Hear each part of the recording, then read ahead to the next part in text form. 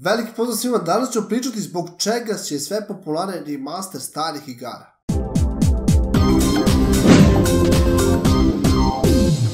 U posle epizode u Spradu šolju kafe pričao sam da RTS polako izumire, ali to je zapravo istina. RTS polako izumire iz razloga što, pričao sam u Spradu šolju kafe, poslušajte, neću da ponavljam, i zbog toga RTS polako izumire.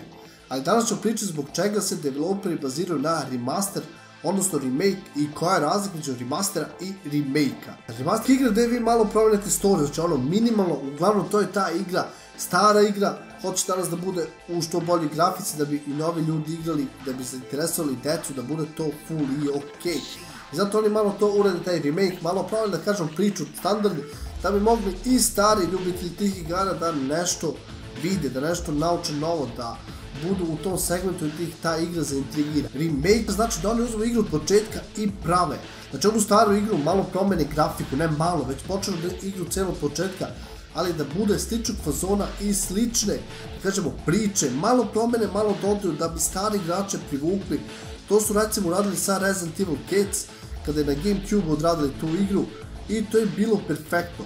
Igrica je sadržala isto, uglavnom ista, ista je bila priča, malo su proširili priču, grafiku su dodali, onda su pre par godina odradili taj remaster. Šta su zapravo radili? Samo što poboljšali grafiku da bi novi igrači igrali, a mi stari doživjeli sve to u 1080p, odnosno Full HD kvalitetu, bez ikakvog one grafike stare da se ježimo.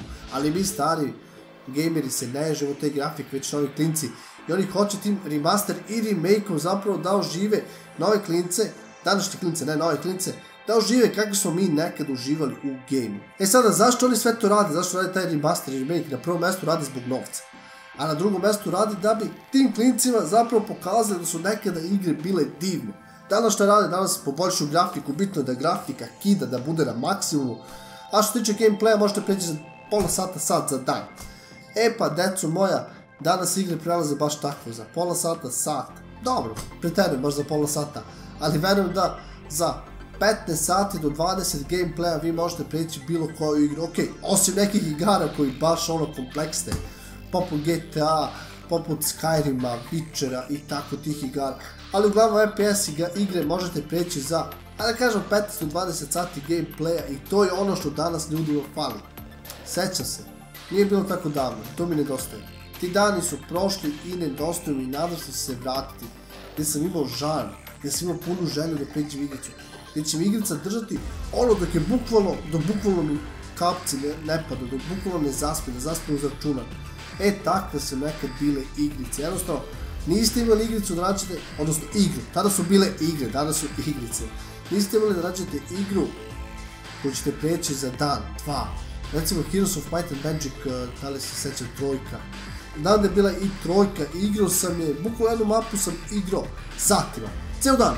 Znači jednu mapu si ceo dan, a vi danas ovo što zove ljudi igru igričinu, vi možete preći za par sati. Ili je to igra? E pa ljudi moji, nije, to je igrica.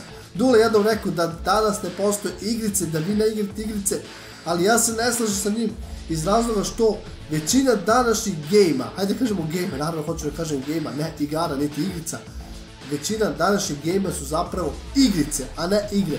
Nekada je bilo Nekada su bile igre, danas su igrice. I zato developeri hoće vas, nove gamere, odnosno decu, odnosno vas klince, a, na nove naraštaje, nove gamere da uvede, da uvede i da pokaže kakve smo mi igre igrali, a kakve vi igrate, kakve igre vi igrate danas. I nikada, ali nikada se neće moći uporediti današnji gaming i nekada gaming, jer je nekada gaming bio pravo zadovoljstvo. Danas je, hajde da ubijem dosadu i to je to. Sve nove igre, sve današnje igre su zapravo stare igre. Imate X nastavka Call of Duty, X nastavka Far Cry-a, StarCraft 2 i Star, StarCraft Cats iz 99. godine. To je Country, takođe naša igra.